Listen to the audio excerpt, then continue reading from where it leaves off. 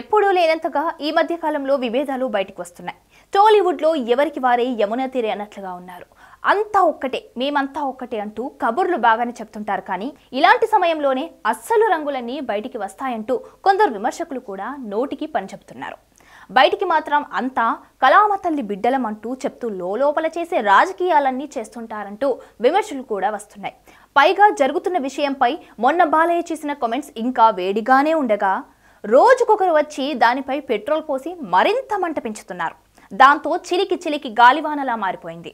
ఆ వివాదం భూములు పంచుకుంటున్నారంటూ బాలయ్య చేసిన వ్యాఖ్యలపై ఇండస్ట్రీలో చాలా మంది సీరియస్ అయ్యారు. అలా అనకుండా ఉండాల్సిందంటూ కొందరు బాలయ్యను విమర్శిస్తుంటే మరికొందరు మాత్రం అన్నపూర్ణ స్టూడియోస్తో పాటు రామానాయుడు స్టూడియోస్ భూములను పంచుకోవడానికే అక్కడ మీట్ అయ్యారంటూ బహిరంగంగానే విమర్శిస్తున్నారు. దానికి తోడు బాలయ్య చేసిన వ్యాఖ్యలపై నాగబాబు రియాక్షన్ మరింత దుమారం రేపింది. ఇండస్ట్రీలో రోజు రోజుకు జరుగుతున్న ఈ రచ్చను ప్రభుత్వం కూడా తీక్షణంగా పరిశీలిస్తుందని తెలుపుతుంది. ఎవరి గ్రూప్ ఏంటి ఎవరిది రైట్స్ ఎవరిది రాంగ్ అనే కోణంలో కూడా ఆరా తీస్తున్నట్లు తెలుస్తుంది.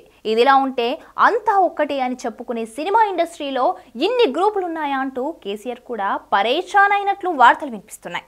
వీటన్నింటికి తోడు బాలయ్య ఒక్కడే ప్రత్యేకంగా తెలంగాణ ముఖ్యమంత్రి చంద్రశేఖర్ రావుతో సమావేశం కాబోతున్నట్లు తెలుస్తుంది. దీనికోసం ఆయన అపాయింట్మెంట్ ప్రయత్నిస్తున్నాడని ప్రచారం జరుగుతుంది. అసలు ఇండస్ట్రీలో ఏం జరుగుతుంది? ఎందుకు తనను దూరంగా పెట్టారనే విషయాలపై కూడా బాలయ్య ఇందులో మాట్లాడబోతున్నాడనే వార్తలైతే వినిపిస్తున్నాయి. ఇండస్ట్రీ కోసమే మీటింగ్స్ పెడితే తనను ఎందుకు విస్మరించారనేది బాలయ్య జీర్ణించుకోలేకపోతున్నాడు.